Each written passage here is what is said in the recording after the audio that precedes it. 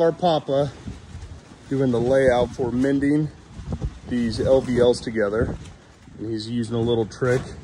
The giant T-square, or giant speed square is 12 inches long and he's making a mark right there.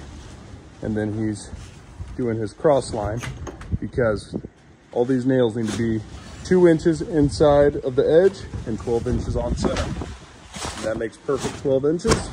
There you go. Little trick for the day.